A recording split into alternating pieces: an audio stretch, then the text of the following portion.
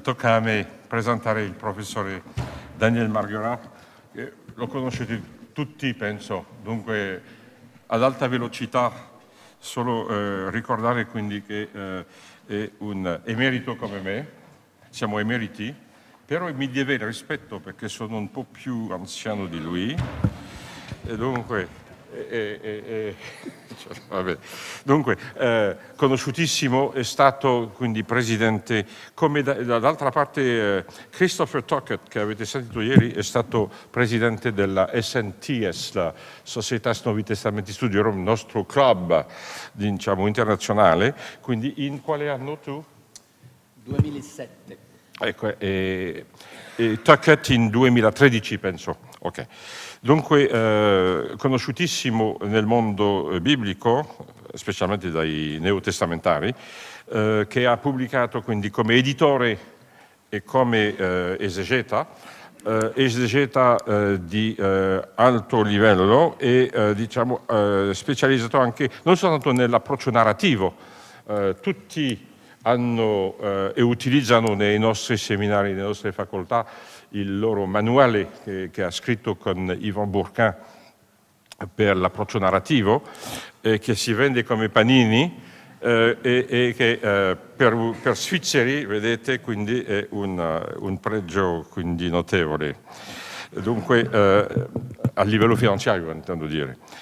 Eh, allora, non soltanto quello a livello quindi narrativo, eh, ma anche a livello esegetico, quindi la sua tesi, su, come lo sapete, sul giudizio, il jugement dans l'évangile de Matthieu, che eh, è stato diciamo, diffusissima e conosciutissima lo stesso. E a livello storiografico, quindi la, la, uno, e, e allo stesso tempo esegeta e storico, e eh, questo è eh, anche uno dei, delle sue doti da ricordare. Quindi eh, ricordo solo in poche parole le sue eh, maggiori opere. Jésus et Matthieu, oltre alla tesi Jésus et Matthieu, à la recherche du Jésus de l'histoire, quindi problemi storici, Les Actes des Apôtres, il eh, commentario famoso del Laboret Fides, e eh, quindi due volumi e molti articoli eh, in tutte le riviste specializzate. Ecco, quindi siamo contenti e tutti felici di sentirlo sulla diciamo, storiografia del libro degli atti. E gli lascio la parola. La storiografia lucana fra storia e teologia. Come qualificare la ricerca lucana nel corso del XX secolo? Direi che essa ha conosciuto due principali passi avanti. Il primo è stato quello di considerare l'opera di Luca come un dittico indivisibile. A Henry Cadbury va attribuito il merito di aver reso popolare tra gli studiosi l'etichetta Luca Atti, a partire dalla sua monografia del 927, The Making of Luke Acts. Da allora l'esegesi del libro degli Atti non è stata più separata dall'insieme letterario e teologico costituito dall'opera al Teofilum. L'unità di autori del Vangelo e degli Atti, sostenuta fin dall'Adversus Aereses di Ireneo, non è più stata rimessa seriamente in dubbio costituisce, detto per inciso, una delle rare tesi esegetiche che non sia stata messa in discussione dal tempo dei padri della Chiesa.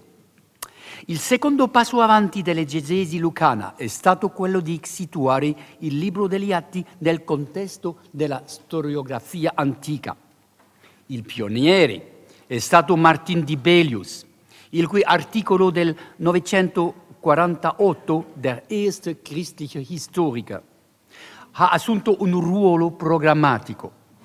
Già nel 927 Di Belius riconosceva che i procedimenti della Formgeschichte non erano applicabili al libro degli Atti, il cui stile testimoniava un rapporto più libero con le fonti e una creatività letteraria di ampio respiro. Attribuire all'autore degli atti il ruolo di storico significava che egli aveva interpretato e articolato i racconti che gli venivano dalla tradizione in modo da costruire un racconto storico coerente. Da un insieme di storie sparse, Luca ha fatto storia. Per primo, egli ha fatto seguire il suo Vangelo da un racconto degli inizi del movimento di Gesù.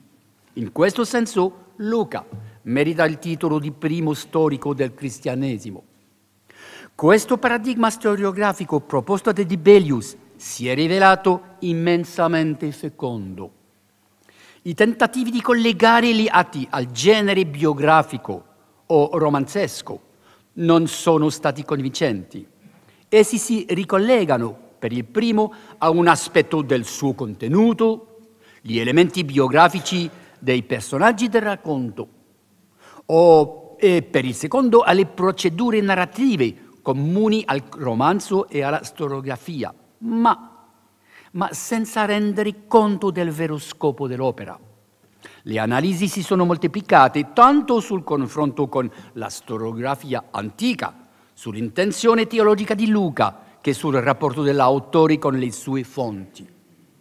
Possiamo ormai considerare come acquisito per la ricerca, primo, che il lavoro, lavoro storico di Luca si situa al crocevia delle storiografie giudaica e greco-romana. Secondo, che come la storiografia giudaico-ellenistica, Luca attinge i suoi procedimenti lettera- letterari dagli storici greco-romani. Terzo, che il tentativo di ricostruire le fonti di Luca è destinato al fallimento perché si scontra con l'intenso lavoro di riscrittura dell'autore. Nonostante il consenso degli studiosi su questo fondamentum, rimangono aperte molte questioni. Luca è in primo luogo storico o teologo? Qual è lo scopo fondamentale del suo racconto? Questo racconto è storicamente affidabile. In che cosa Luca è discepolo di Paolo? Mi propongo di affrontare queste questioni in cinque punti. Primo, gli atti una storia cherigmatica, due, la costruzione di una memoria collettiva, tre, testimonianza e cristologia, quattro, è, Luco, è Luca uno storico affidabile, cinque, Luca discepolo di Paolo. Gli atti una storia cherigmatica. Quando Dibelius conclude che in fin dei conti Luca non è un storico ma un predicatore, o quando Henschen nel suo commentario diventato classico. Descrive Luca come un autore di edificazione. Si emette un verdetto implacabile. Luca avrebbe voluto fare, fare un'opera storica, ma la pressione teologica è stata troppo forte. In altre parole, l'ambizione storiografica di Luca è stata snaturata, falsificata dal suo orientamento teologico. Personalmente respingo questo verdetto, che appartiene alla dicotomia tra cherigma e storia sostenuta dalla teologia dialettica. Ma questa dicotomia non è pertinente. Essa deriva da una erronea definizione di un cherigma che sarebbe avulso della storia. La tesi che io sostengo è che in Luca storiografia e proclamazione cherigmatica non sono due ambiti antagonisti che ci ostacolano a vicenda, ma due vocazioni intrinsecamente legate. Luca non è storico o teologo. Egli scrive un'opera storica in quanto teologo ed espone un'intenzione cherigmatica in quanto storico. Il modo migliore per verificarlo è quello di analizzare il prologo della sua opera, dove egli espone la sua intenzione. Un'opera per insiders. Poiché molti hanno cercato di comporre un racconto degli avvenimenti compiuti in mezzo a noi, come ce li hanno trasmessi coloro che ne furono, furono testimoni oculari fin da principio e divennero servitori della parola, è sembrato opportunato anche a me. Di questo prologo, ben noto, ricordo gli elementi essenziali. Luca si adegua all'uso attestato nella storiografia greco-romana e codificata nei tratti di retorica. Presentare il proprio progetto all'inizio dell'opera, che ci si aggiunge a scrivere, mira a rendere il lettore benevolo, attento e ben disposto alla lettura, benevolum attentum docilem. L'autore si atteggia a storico ponendosi a una distanza storica dagli eventi. Fa riferimento ai suoi predecessori e risale la catena della trasmissione fino ai primi testimoni, coloro che ne furono testimoni oculari fin da principio. Per definire il suo racconto non usa il termine di Marco, Vangelo, ma il termine racconto, diegesis, che designa propriamente un racconto storico. Inoltre, egli enunzia la sua deontologia storica, la sua presentazione, frutto di una ricerca minuziosa, sarà fatta partendo dall'origine, con precisione e con ordine. In breve, questo prologo mostra chiaramente i segni distintivi dell'antica storiografia erudita. Tuttavia, se lo confrontiamo con i prologhi conosciuti degli storici, si distinguono due caratteristiche proprie. Da una parte non viene specificato il tema dell'opera, ma si usa il termine generico di avvenimento, pragmata niente autorizza a limitare questi avvenimenti al contenuto del Vangelo, dato che questa dichiarazione preliminare fa riferimento all'insieme dell'opera, come confermato dalla sua ripresa in Anti 1, 1-2. I pragmata comprendono sia la vita di Gesù, la sua morte e risurrezione, che la vita dei suoi testimoni negli atti. Seconda singolarità di questi pragmati si dice che sono stati compiuti in mezzo a noi, en hemin. Intendo questo verbo compiersi al passivo come un passivo divino. Gli eventi che Luca si aggiunge a raccontare provengono da una volontà divina. Ma chi sono questi noi? Evidentemente Luca circoscrive qui un luogo sociologico di cui egli fa parte e che comprende al tempo stesso i suoi lettori e il dedicatario Teofilo. Il noi rappresenta una comunità che è stata partecipe degli eventi che saranno esposti, una comunità alla quale i servitori della parola hanno trasmesso la loro testimonianza, una comunità alla quale appartengono al tempo stesso l'autore, gli ascoltatori lettori e Teofilo. Quest'ultimo ha già beneficiato di una catechesi su questo tema e la dedica si promette di fargliene verificare l'affidabilità all'ESEA. Non c'è alcun dubbio, a mio avviso, non c'è alcun dubbio che si tratti di un riferimento alla comunità cristiana. Più precisamente, se si pensa alla storia raccontata negli atti, una comunità che si riconosce inserita nell'eredità paolina a mio avviso, i ben noti passi in noi, che interrompono a quattro riprese la narrazione, appartengono allo stesso processo di veredizione e di legittimazione. Essi non solo garantiscono l'affidabilità storica degli eventi narrati, ma li situano in un mondo di significato al quale aderiscono gli ascoltatori lettori. In sintesi, L'opera lucana non è un scritto missionario, né un manifesto destinato agli, a osservatori esterni.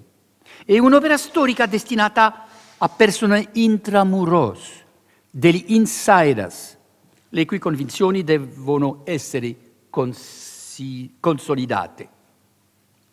Un programma ambivalente. Il prologo, che l'autore per, premette per Teofilo alla sua opera, mostra fin dall'inizio l'ambivalenza del suo progetto storiografico. I pragmata messi in racconto fanno parte della storia universale.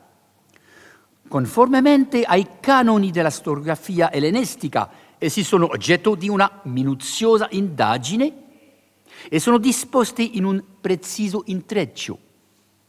L'autore cercherà come nessun altro evangelista di situarli nella grande storia dell'impero romano.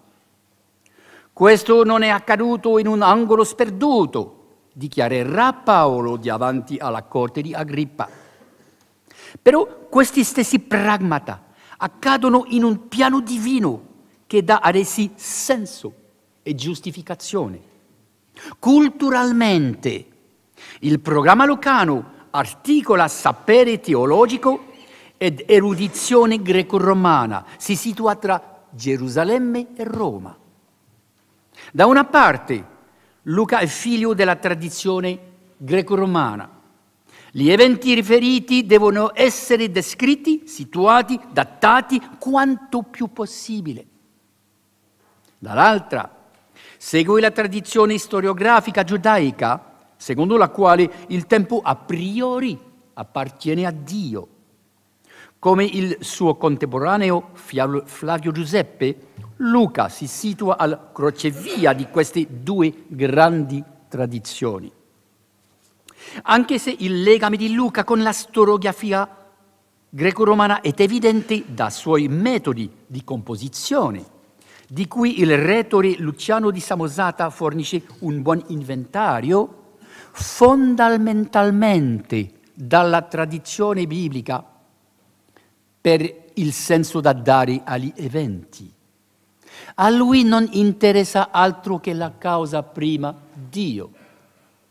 Tutto il suo racconto dipende dalla convinzione che Dio, in molti modi, visioni, estasi, invio di angeli, interventi dello spirito, fenomeni soprannaturali.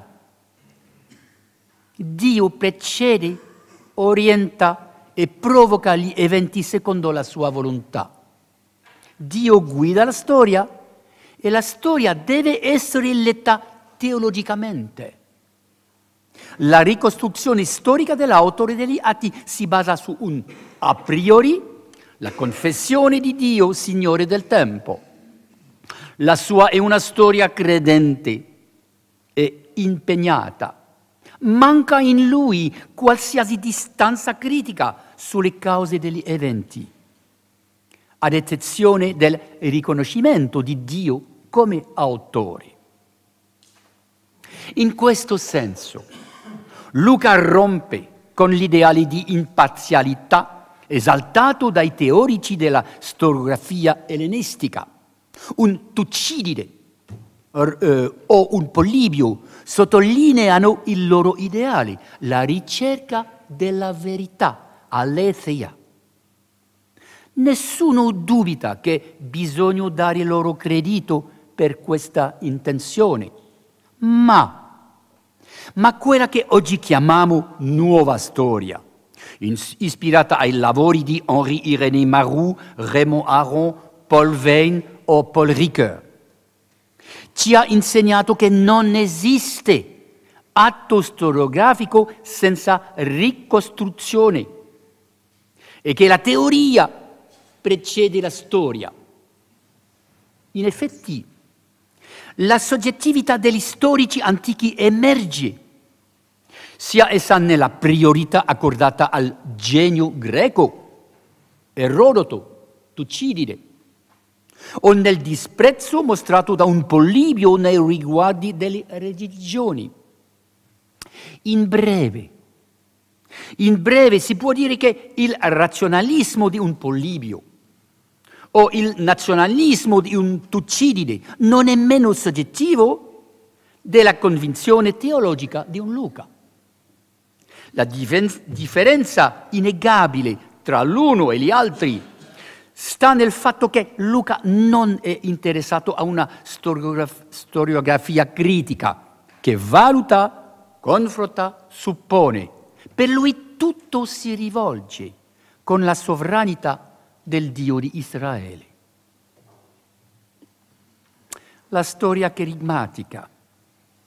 Se volessimo definire l'opera storiografica di cui è testimone il libro degli Atti, la definizione migliore mi sembra una storia profetica, o meglio una storia cherigmatica.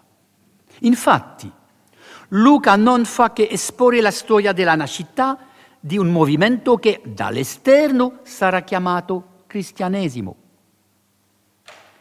Egli racconta come Dio, con forza, interviene per far avanzare questa storia inviando lo Spirito Santo, liberando miracolosamente i suoi testimoni dalla prigione, dotando apostoli e testimoni di poteri carismatici,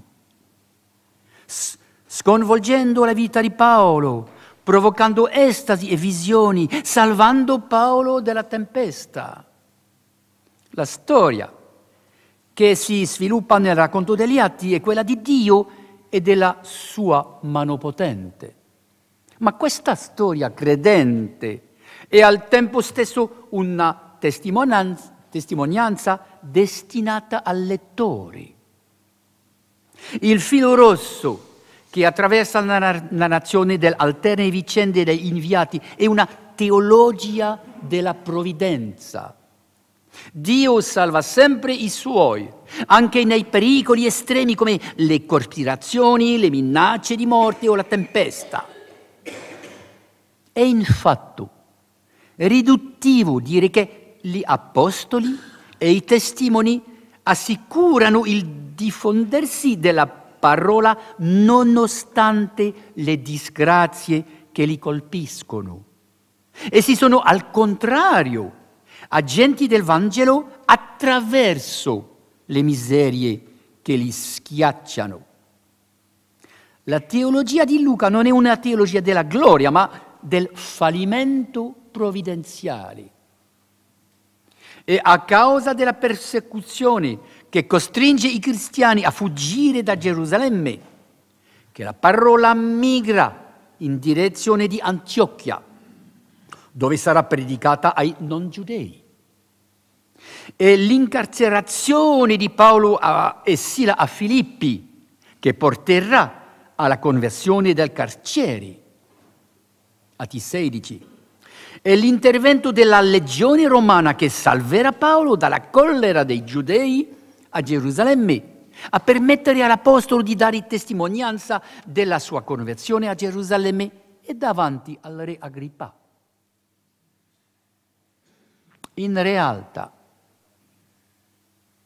in realtà il tema fondamentale del libro degli Atti non è la storia della Chiesa, e ancora meno il divenire di una istituzione non è nemmeno l'attività dello Spirito Santo, anche se a partire da Ocumenio nel VII secolo gli atti sono stati definiti il Vangelo dello Spirito, il vero eroe degli atti degli Apostoli è il Logos, la parola.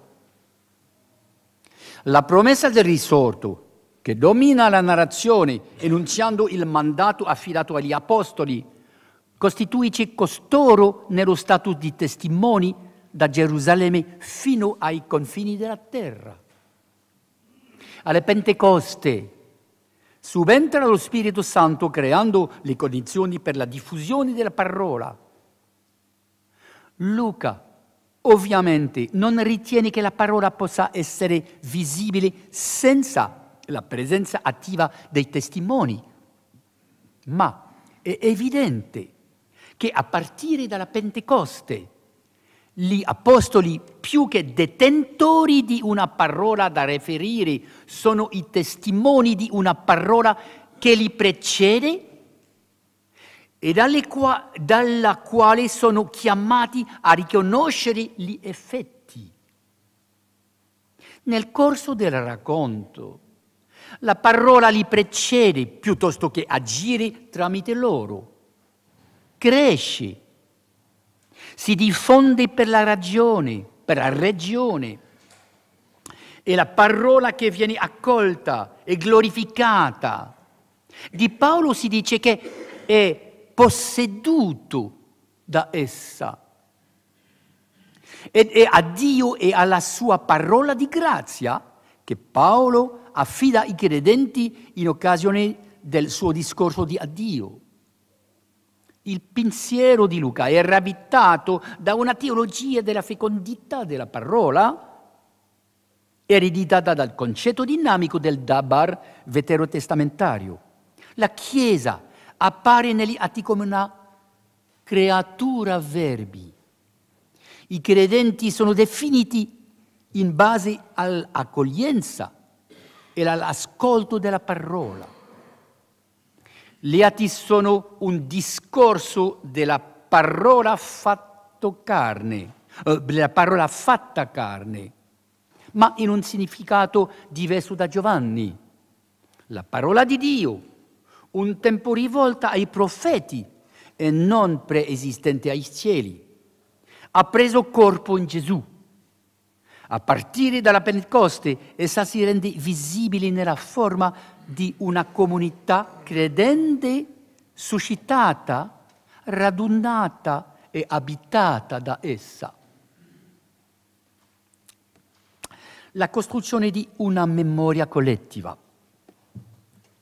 Luca fa seguire il suo Vangelo da un racconto della nascita del cristianesimo. È ben noto. Si tratta di un fatto di una novità assoluta Nessuno nell'antichità ripeterà una cosa simile. Valutiamo con attenzione le conseguenze di questo gesto. Luca è il primo nella storia del cristianesimo a far seguire la storia di Gesù dalla storia apostolica. È il primo ad organizzare in modo narrativo la successione del Signore e dell'Apostolo, o, se si, se si preferisce, a stabilire che il Vangelo è inseparabile dalla sua continuazione nella storia apostolica. Perché? Perché si deve a Luca questa fissazione narrativa di il Vangelo e l'Apostolo. A mio avviso, la risposta va cercata nella crisi che conobbe il cristianesimo negli Atti 60, dopo la scomparsa della generazione apostolica. Questa scomparsa scatenò una crisi della memoria collettiva cristiana, essendo venuti meno i testimoni di Gesù. Essa comportò, per usare le categorie dello storico delle, delle religioni Jan Assmann, il passaggio da una memoria comunicazionale a una memoria culturale. Asman ha riportato in auge i precedenti lavori di Maurice Halbwachs sulla memoria collettiva come ricostruzione memoriale del passato. Asman parla di una mnemostoria, o storia della memoria, che egli definisce come la teoria della ricezione applicata alla storia. La mnemostoria presuppone che la lettura delle fonti non ci metta in contatto con il passato in quanto tale, i brutta facta, cari al positivismo ma con un passato già interpretato. Le antiche tradizioni alle quali abbiamo accesso ci danno una visione del passato strutturata da un piano culturale e religioso. Il passato, infatti, non è un dato oggettivo, ma una ricostruzione collettiva.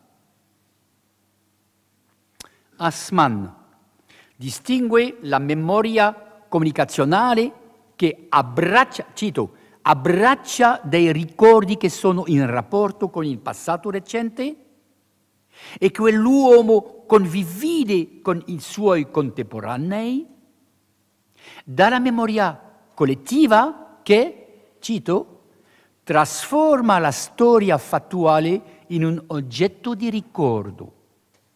Nel ricordo la storia diventa mito, ma non per questo diventa irreale, al contrario. È solo allora che diventa realtà, acquisita, cioè una forza normativa e formativa durata. Dell'elaborazione di una memoria culturale, rilevo che essa A si elabora a distanza dagli eventi, B costruisce per il gruppo una storia fondatrice con un scopo identitario, dimensione formativa. Sì, è accompagnata da una regolazione del ricordo che ne fissa l'interpretazione, dimensione normativa. Secondo me, secondo me è esattamente a questo fenomeno che ci si assiste nella scrittura di Luca Atti. L'autore ha cercato di elaborare una memoria di Gesù accompagnata da una memoria apostolica allo scopo di preservare la tradizione delle origini e di lasciarne l'eredità alla cerchia della comunità paoline alla quale egli appartiene. Questo ambiente identificabile dietro il noi a cui fa riferimento la prefazione alla sua opera. O, detto in in altre parole, è per l'ambiente paolino alla quale egli appartiene che l'autore ha composto la sua opera memoriale da Gesù a Paolo, un'opera destinata a diventare la memoria ufficiale del movimento. In realtà, la motivazione esterna della composizione lucana è stata duplice. Alla scomparsa dei primi testimoni si aggiunge il deterioramento dei rapporti tra la comunità cristiana e la sinagoga, un deterioramento che al suo tempo non è ancora un divorzio, ma al quale poi porterà l'aggressività giudaica nei riguardi dei missionari cristiani è sufficientemente accentuata negli atti perché vi si possa vedere il riflesso di una tensione che l'auto riconosce. A questo riguardo la sua opera appare come la cronaca di una rottura annunziata tra Israele e il movimento di Gesù. Il finale degli atti suona con, come il fallimento dello sforzo paolino di convincere i suoi correligionari. Chi sono i garanti della memoria culturale messi in scena da Luca Atti? La prima cerca dei garanti è costituita dal gruppo dei dodici. Luca presenta la sua definizione dell'apostolato con le parole che mette sulle labbra di Pietro. Ci ha accompagnati per tutto il tempo in cui il Signore Gesù andava e veniva in mezzo a noi, incominciando dal battesimo di Giovanni fino al giorno in cui è stato di tra di noi assunto il cielo, perché divenga insieme a noi testimone della sua risurrezione. Contrariamente a Paolo, secondo il quale è apostolo chi ha ricevuto un mandato dal risorto, ma riprendendo il significato giudaico-cristiano e gerosolimitano dell'espressione, Luca delimita in senso stretto la definizione di apostolato e fa dell'apostolos un titolo non trasmissibile. Avendo condiviso tutto il ministero di Gesù ed essendo stato testimone della sua risurrezione, l'apostolo, così definito, assicura la continuità tra Gesù e i suoi seguaci. La sua testimonianza deve essere pienamente affidabile, non può essere soggetta a cauzione. La scelta di Mattia per sotteggio completa il gruppo dopo la defezione di Giuda, riportandolo al numero di dodici. Il narratore non, menziona, non menzionerà più questo apostolo sostituto. La sua unica funzione narrativa sembra essere quella di ristabilire una continuità senza interruzione tra il Vangelo e la generazione apostolica, una continuità che non può essere impedita dal tradimento di Giuda. Nella teologia lucana della continuità, il gruppo dei dodici costituisce una grandezza ieratica intoccabile. Essa assicura una doppia continuità storico-salvifica con la storia di Israele da una parte, ricomposizione simbolica dei dodici tribù, con la storia di Gesù dall'altra. La seconda cerchia dei garanti della memoria è costituita da, dai testimoni. Si tratta di una cerchia più ampia e ingloba i dodici che ne sono il nucleo iniziale. Il termine martus, con il suo equivalente verbale diamarturomai, gioca un ruolo decisivo negli atti. Passo al prossimo brano. La memoria culturale che Luca costruisce attorno al binomio Vangelo e Apostolo elenca pertanto tre indici di affidabilità. Primo, la comunità apostolica delle origini, delle origini assicura la visibilità del Signore assente. Secondo, gli apostoli costituiscono un gruppo chiuso, garante del legame con il tempo di Gesù fino alla risurrezione compresa. Terzo, mentre la legittimità degli apostoli è assicurata dalla scelta di Gesù, quella dei testimoni Stefano e Paolo è garantita da una rivelazione celeste. Terzo, tre, tre testimonianza e cristologia.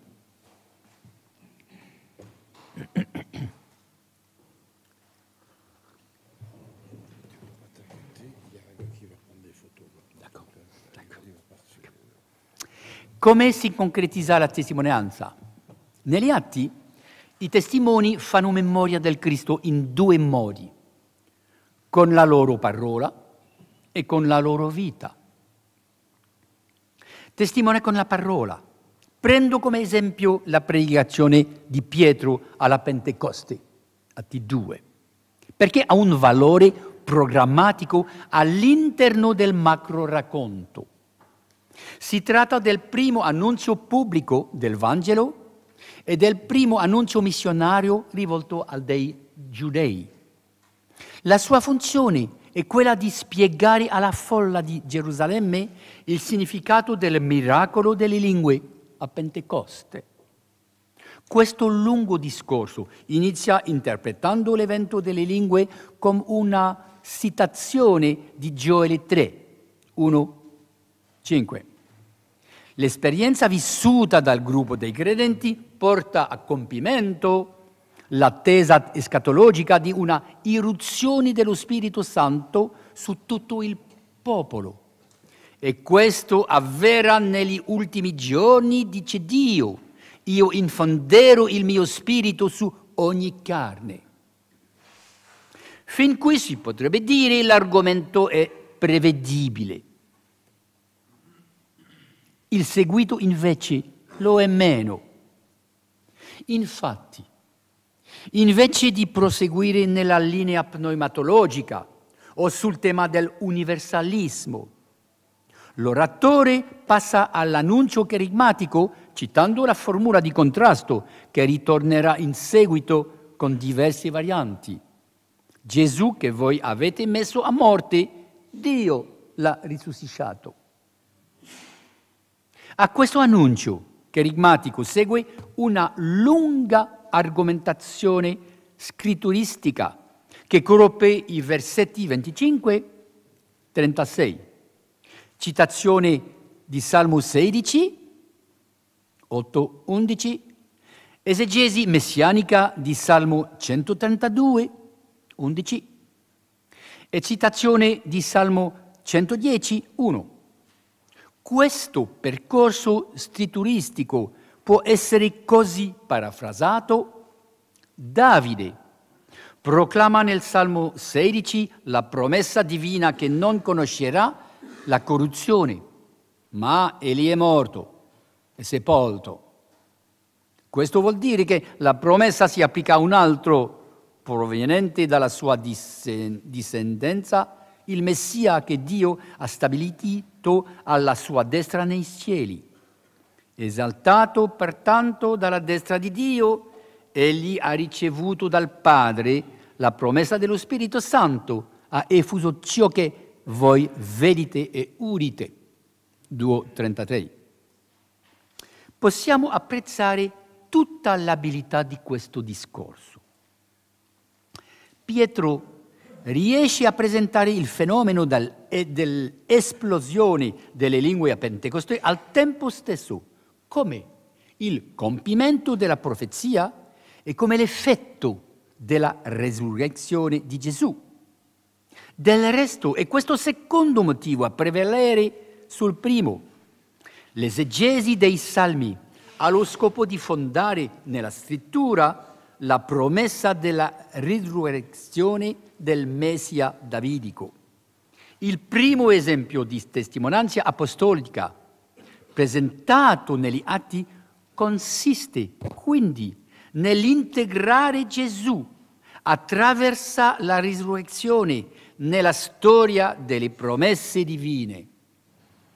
La memoria di Gesù è inserita in una memoria che la precede e che la fonda, il ricordo delle promesse salvifiche di Dio al suo popolo.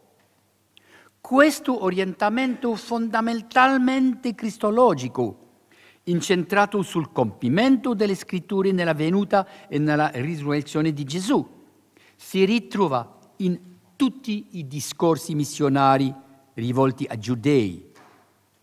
In un mondo in un modo o nell'altro, l'intenzione retorica è la stessa, integrare la memoria di Gesù nella storia di Dio con Israele. Su cosa si basa questo lavoro di memoria? Per rispondere bisogna andare alla fine del Vangelo, più precisamente alla catechesi che il risorto rivolge ai suoi ai suoi discepoli in Luca 24. Quando il narratore dice che Cristo aprì loro la mente per comprendere le scritture, enuncia immediatamente dopo il contenuto di questa ermeneutica veterotestamentaria, il Cristo soffrirà e risorgerà dai morti il terzo giorno. Il modello di un'esegesi cristologica delle scritture viene quindi presentato dallo stesso risorto. E Cristo aggiunge, voi ne siete i testimoni. Adempiendo questo mandato, gli apostoli testimoni diventano i primi agenti di una memoria apostolica degli eventi della salvezza il cui narratore sottolinea doppiamente la legittimità, essa si fonda al tempo stesso su una missione dell'esisorto e sul suo esempio. Testimoni con la vita. Ci sono le parole, come ho detto, ma anche le azioni. La vita delle degli inviati del Cristo, apostoli e testimoni, ricalca il destino difficile e sofferente del loro maestro. Mi riferisco con questo al massiccio uso del progeggimento della syncrisis da parte degli autori degli atti. Questo progeggimento, conosciuto dalla retorica greco-romana e usata nei progimmasmata, consiste nel tracciare un parallelismo tra due figure, con lo scopo dichiarato di metterle a confronto facendo emergere al tempo stesso la superiorità dell'una sull'altra. L'esempio più rilevante è fornito dalla vita paralleli di Plutarco, che alterna i ritratti dei buoni e dei cattivi imperatori. La soncrisis non è un semplice parallelismo, ma presuppone sempre un polo dominante. La soncrisis, ehm, in questo senso, si ricollega alla tipologia, una pratica ricorrente nella Bibbia ebraica che consiste nel vedere in una figura antica il prototipo di una figura posteriore. L'autore degli atti ne fa ampio uso, allo scopo di conformare l'agire e il destino dei testimoni sul modello cristologico. Così come per Gesù la missione di Pietro e di Paolo si innescata da un evento di tipo visionario. Come Gesù, Pietro e Paolo guariscono dei malati. Come Gesù risuscitano un morto. Stefano, il protomartire, linciato dai membri del Sinedrio, muore in un modo che non può non richiamare nella mente del lettore la morte di Gesù ma c'è di più. I testimoni di Gesù subiscono la stessa resistenza, la stessa ostilità che ha sofferto il mastro. Lo vediamo per Stefano, ma anche per Pietro, che è oggetto di un progetto omicida di Erode Agrippa. Il famoso parallelismo Pietro-Paolo spesso rimproverato a Luca dagli esegeti che lo accusano di travisare la memoria dell'Apostolo dei Gentili. Non è dovuto a una volontà di petrinizzare Paolo, ma di allineare Pietro e Paolo sullo scenario della vita di Gesù. Bisogna parlare di un mimetismo cristologico. Le similitudini sono più numerose che mai nella modalità del processo di Paolo e il processo di Gesù. Il mimetismo cristologico raggiunge qui il suo vertice al punto che si può parlare di una passione di Paolo a immagine di una passione di Gesù. In sintesi, sia, la, sia le parole dei testimoni di Gesù che il loro comportamento fanno memoria di Gesù. Lo ripeto, il secondo volume dell'opera lucana non fa che aggiungere la memoria degli apostoli a quella di Gesù. Le parole dei testimoni diventano l'interprete autorizzato della venuta di Gesù e del suo significato salvifico. La vita e l'attività dei dodici, di Stefano, di Filippo, di Paolo e dei suoi compagni sono una continuazione, una conferma, un duplicato di quella del Signore. La memoria delle origini non ci limita, come in Marco, al Vangelo di Gesù Cristo, dal battesimo di Giovanni fino alla scoperta della tomba vuota, ma include la storia dei primi testimoni, la cui attività convalida il Vangelo e ne conferma l'attualità. Faccio mie le parole di Jacques Dupont, un grande esegeta del libro degli Atti. La salvezza venuta nel mondo viene proclamata, cito, da coloro che sono stati gli immediati testimoni della vita, della morte e della risurrezione di Gesù. La Chiesa è stata fondata una volta per tutte sulla loro testimonianza e in questa testimonianza essa trova la norma definitiva della sua fede e della sua unità.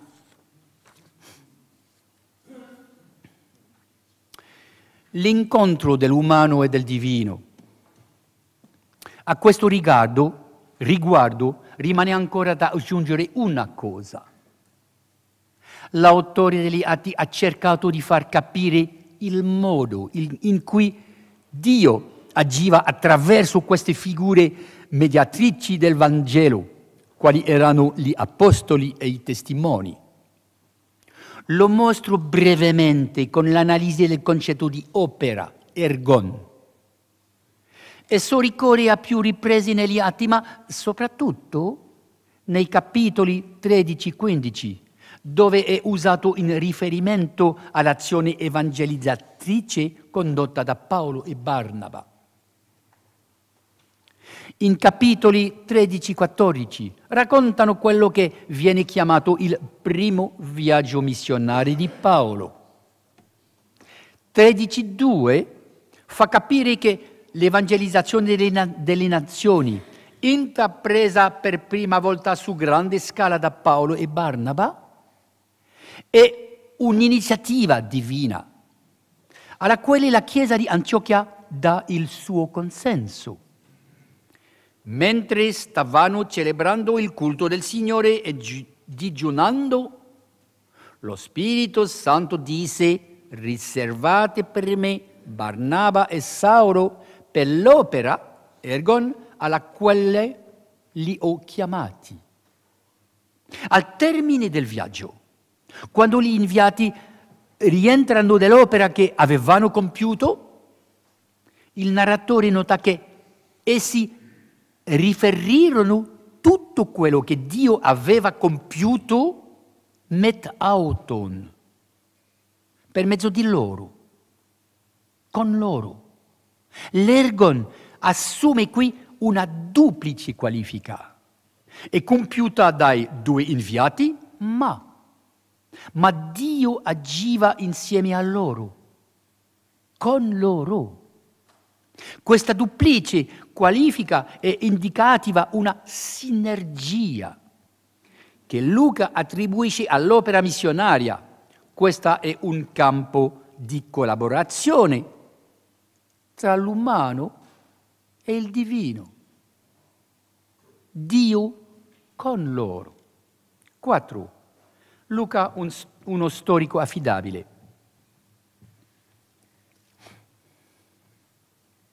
L'approccio alla storiografia, alla storiografia lucana sotto il tema storia e teologia non può non affrontare la spinosa questione dell'affidabilità storica del racconto di Luca.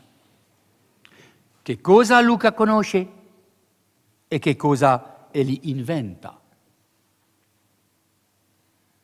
Se messi a confronto con i dati delle lettere paoline, gli atti sono stati spesso oggetto di derisione tra difensori, in genere di area anglosassone, e detrattori, piuttosto tedeschi, della storica degli atti. La battaglia è sempre e ancora aperta. È necessario fare qui qualche passo indietro.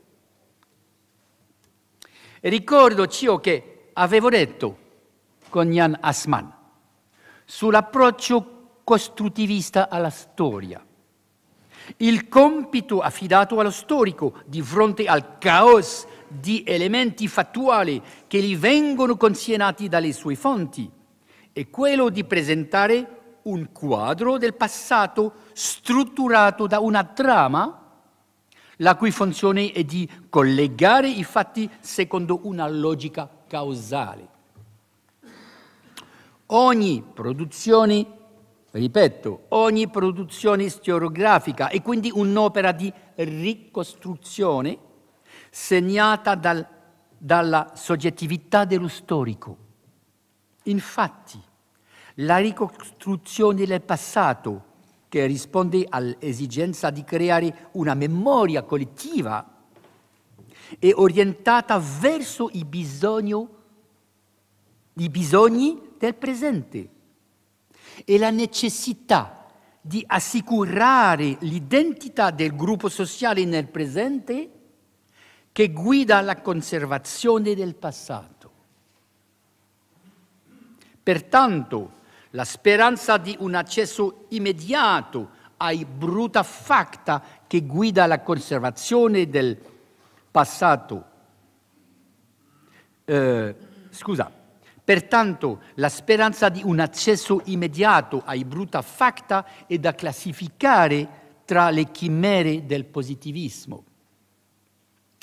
Ciò non toglie che, a differenza del romanziere, lo storico impone a se stesso un dovere di conformità alla tradizione documentaria sulla quale egli si basa.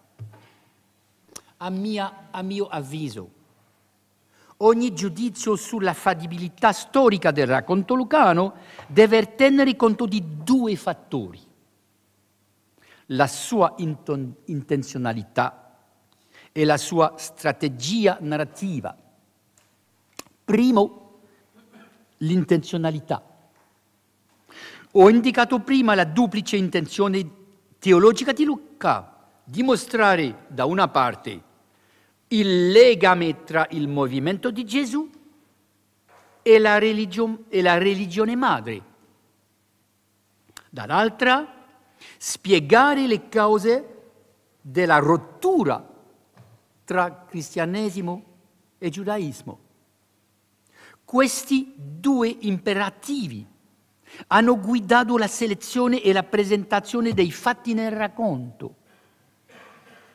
Si possono così comprendere le ripetute affermazioni della loro identità giudaica, sia da parte di Pietro che di Stefano e Paolo nelle loro azioni e nei loro discorsi.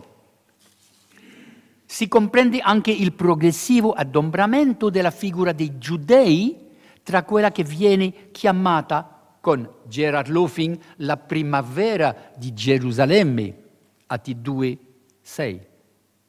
Quando l'ostilità delle autorità è controbilanciata dalle favorevole accoglienza del popolo è le sezioni finali del libro, Atti 21-28, dove si fronta a Paolo c'è solo una elite giudaica aggressiva che vuole la sua morte. Il narratore vuole creare questo scenario di deterioramento delle relazioni che pone Paolo nel ruolo di vittima e l'autorità romana in quello della potenza potretrice. Secondo, la strategia narrativa. Conformemente al canone della storiografia ellenistica, Luca precede per successione di episodi narrativi, l'episodenstil. La sua teologia più che argomentativa è narrativa, il che significa che egli preferisce illustrare un concetto teologico attraverso una scena piuttosto che una, che con una argomentazione. Il ris- risultato più brillante di questa sua tecnica è la sequenza di Pietro e Cornelio, Atti 10, Atti 10 11, dove una successione di eventi, la visione angelica di Cornelio, l'estasi di Pietro, l'intervento dello Spirito Santo, l'incontro di due uomini, il battesimo in casa di Cornelio e il successivo dibattito a Gerusalemme. Espone al lettore le ragioni dell'estensione della salvezza ai non ebrei e la sua ratifica da parte della Chiesa di Gerusalemme. Piuttosto, piuttosto che affermare che Dio è all'origine di questo sconvolgimento, il narratore lo mostra all'opera. Piuttosto che esporre l'imbarazzo teologico che ne consegue, e gli fa, parli, e gli fa parlare Pietro. Questa grande sequenza narrativa corrisponde a una cronica degli eventi? Molto verosimilmente no ricostruisce la dinamica di questa apertura alle nazioni, alle nazioni? Certamente sì. Bisogna tuttavia rendere merito all'autore, stando al modo in cui funziona la memoria, la memoria dei lettori, la scena di Atti 10-11 si è impressa nella memoria cristiana molto meglio dell'argomentazione di Paolo in Romani 3, 21-26.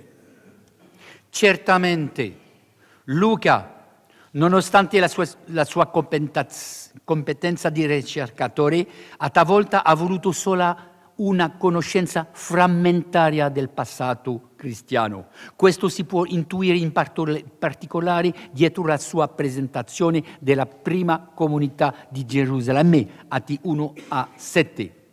La successione poco accurata di episodi non collegati tra loro non dissimula molto bene la carenza di informazioni. Passo al prossimo brano. Dobbiamo quindi riconoscere una parte di finzione nel racconto lucano, come per ogni racconto storiografico. La sua ricostruzione del passato è creativa, narrativamente creativa, perché il suo racconto avvinca il lettore, deve levarsi il vento della poesia. L'obiettivo di affidabilità a Sfalia che egli si impone nei riguardi Teofilo non è nell'ordine della precisione documentaria, ma della verità teologica. Passo al punto 5. Luca, discepolo di Paolo. Come conclusione di questa mia lezione, affronto un'ultima questione, anch'essa spinosa, nella ricerca lucana. Luca fu, fu un buon discepolo o un cattivo discepolo di Paolo? Fu un buono storico dei viaggi dell'Apostolo o un cattivo testimone della sua teologia? In effetti le differenze tra la teologia di Paolo, secondo le sue lettere, e la teologia di Paolo negli atti sono considerevoli.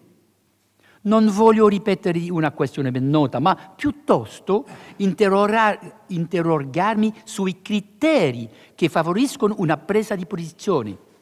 Infatti, le risposte date dagli esegeti dipendono da due prese di posizione, una storica e l'altra letteraria. La presa di posizione storica riguarda il rapporto personale dell'autore degli atti con l'Apostolo Paolo e voglio insistere sulla seconda, la presa di posizione letteraria. La presa di posizione letteraria riguarda l'accesso dell'autore alla tradizione paolina. In che modo Luca ne fu informato? Le sue fonti letterarie non sono ricostruibili, come aveva già constatato Jacques Dupont, ma di che natura erano? Ciò che emerge dal suo racconto è di ordine biografico e narrativo piuttosto che discorsivo. Sarebbe del tutto anacronistico immaginare che alla fine del primo secolo l'accesso ai ricordi di Paolo fosse basato principalmente su un riferimento testuale. la pratica della lettura era molto ridotta. ridotta. Luca eredita una memoria biografica essenzialmente orale, il cui legame con la figura dell'Apostolo non è standardizzato dai suoi scritti. La memoria che Luca ha raccolto nel suo racconto è quella conservata nelle comunità da lui visitate. La memoria dell'eroe fondatore. È in questo quadro che si inserisce l'assenza di ogni citazione delle lettere di Paolo, che arriva fino all'assenza di ogni attività epistolare attribuita al Paolo Lucano e questo rimane un enigma. Io ho difeso la tesi di una triplice ricezione della figura di Paolo nel primo e nel secondo secolo, una ricezione documentaria, la preservazione delle lettere paoline, una ricezione biografica, Luca e gli atti apocrifi di Paolo, una ricezione dottrinale, la redazione di una letteratura pseudoepigrafa, deuteropauline e pastorali. È evidente che al filone biografico di cui Luca è il promotore interessa l'eroe dell'evangelizzazione cristiana, non il teologo polemista, filone documentario o il dottore della Chiesa, filone dottrinale. Nella strategia lucana Paolo è diventato un'icona dell'identità cristiana. Gli elementi che egli ha conservato sono quelli che alla fine del primo secolo servivano a configurare questa identità, la continuità con la storia di Dio e del suo popolo Israele. Luca non fu certo l'archivista di Paolo. La sua configurazione narrativa del personaggio testimonia una, uno sforzo di ricezione creativa, interpretativa ed instanziata, anche se ha portato ad un addomesticamento e a un ammorbidimento della sua vena teologica Essa non transige sul valore incrollabile dell'eredità paolina. Si percepisce qui il limite di ogni opera che abbia un'intenzione apologetica. Attualizza il personaggio, ma ne conserva ciò che assicura nel presente la sua statura di fondatore. Conclusione, la storia, storiografia lucana tra storia e teologia. Luca, storico o teologo, ho mostrato che questa alternativa è da respingere. Luca è storica, è storico perché la parola si è fatta carne in un contesto umano che bisogna descrivere. È teologo perché la storia è il luogo della rivelazione di Dio. Sotto la sua penna la storia diventa cherugma e il cherugma si manifesta nella storia. Luca ha voluto essere lo storico di Dio. Grazie per l'attenzione.